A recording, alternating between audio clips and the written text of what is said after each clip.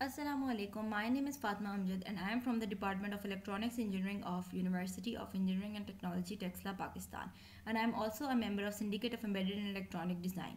Today I am here to talk about my research study that is detection of dilated cardiomyopathy using pulse plethysmographic signal analysis. The main contents of this presentation includes the introduction of the background of the study. The next thing that I will be talking about are the techniques, materials and methods used to achieve the most optimized result for this research and at the end I will be concluding this presentation. For the introduction, the first thing that I will be explaining is DCM. Next I will be talking about the term PuPG and after that I will be telling you the motivations and literature surveys performed in light of this research project. Now what is DCM? DCM stands for dilated cardiomyopathy which is a self-explanatory term in itself. Since the words cardio means heart and myo means muscle, therefore DCM directly translates to dilation of heart muscles, which is a type of cardiovascular disease that causes difficulties in creating a proper pressure for the pumping of blood to the body, which can ultimately lead to heart failures or heart attack. The demographics show that 1 in 2500 people are, is affected by this cardiovascular disease, which depicts that this disease is very common globally. The only solution for the severe cases of this cardiovascular disease is heart transplant, which is a quite expensive process. The sensor technologies that are used for the detection of dilated cardiomyopathy include PPG, PCG, ECG, MRI, angiography, and PuPG. Uh, and PuPG is the technique uh, upon which our whole study uh, revolves around. PuPG stands for pulse plethysmography, which is a technique used for the detection of heart impulses based on volumetric changes. Another technique used for heartbeat or impulse detection is PPG or photoplethysmography, but there is a clear difference between the two. Since PPG or photoplethysmography is based on photonic symbols, photonic signals, whereas pulse plethysmography is based upon blood volume changes. And the images show the signals that are extracted after applying uh, the foot pulse plethysmography sensor to a normal patient or a normal person or the signal of a patient suffering from dilated cardiomyopathy. DCM is one of the leading causes of deaths around the world and its detection using pulse plethysmography which is a painless data acquisition technology can be revolutionary since it can aid in early disease detection and treatment. And lastly there is not much work done on the detection of dilated cardiomyopathy using pulse plethysmographic sensor. These points ultimately form the motivational basis of this project. An extensive literature survey was performed that revolved around the detection of heart diseases using various techniques. Some of the papers closely related of this study are shown in this slide. As you can see that not much work done is on uh, not not much work is done on the detection of dilated cardiomyopathy and the papers that are already present are uh, based upon detection of cardiomyopathies or hypertrophic cardiomyopathy which is a type of cardiomyopathy now jumping on to the materials and methods the main steps taken in this project include first the acquisition of data since there was no available online data sets for pulse plethysmographic based data signals or DCM signals. Next comes the pre-processing of required signals. After that comes feature extraction and lastly classification. The dataset was acquired using a combination of PTN104 and NI myDAQ. The signals were acquired through the index fingers of the right hand of the subjects and the data was collected from various hospitals in the areas of Islamabad, Rawalpindi and Vaughan. And the timestamp for the signals was 5 seconds per subject and the sampling frequency was set to be 1000 Hz. These images show the data acquisition setup. This is the PTN104 sensor and this is the NI myDAQ.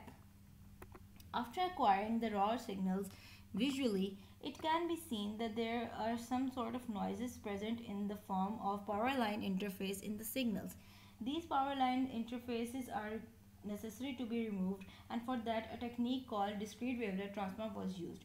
The mother wavelet selected for discrete wavelet transform was Daubechies 5 or DB5 and the decomposition was carried up to 5 levels. The images show a comparison of noisy and clean signals of a normal person and a person suffering from dilated cardiomyopathy. Before classifying the signals, it is important to perform feature extraction. And the features giving the best results are shown in this slide that are root mean square, peak to peak, and kurtosis.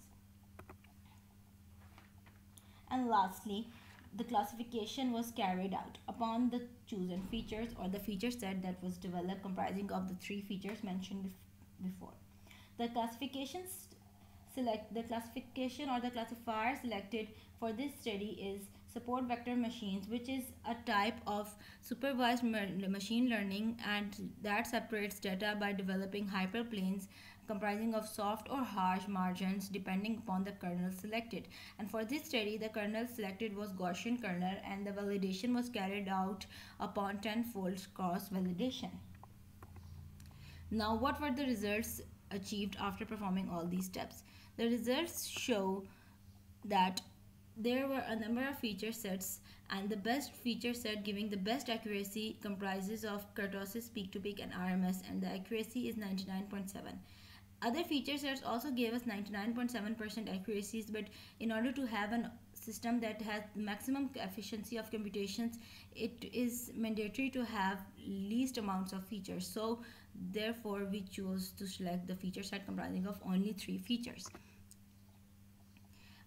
the statistical parameters or the parameters also show that the percentage accuracy was obtained 99.7% and here it can be seen that the confusion matrix of the results where the two classes show that 100% of true positive rate and 99% of true positive rate. Now the evolution or evaluation parameters or the statistical parameters of various support vector machine kernels and comparison of support vector machines with KNN shows different results as you can see in this slide. The sensitivity, specificities and accuracies are shown as well and at the end there is a comparison of the literatures of the uh, this study has the highest possible accuracy that is achieved that is 99.7% for the detection of dilated cardiomyopathy. And all the other literatures show uh, an accuracy or results that are lower than this study which proves that this study is much better than the previously present literature or previously present studies available online or available out there. Now concluding. In conclusion of this study in conclusion of this study or presentation, I would like to say that this project has great potential. It is serving as a stepping stone towards the detection of dilated cardiomyopathy using pulse plethysmography. It also introduces the use of pulse plethysmography for other cardiovascular diseases detection which is not done before. The project has great clinical applications and can be used in hospitals for easy detection and since it is very lightweighted and very conventional to carry around as well.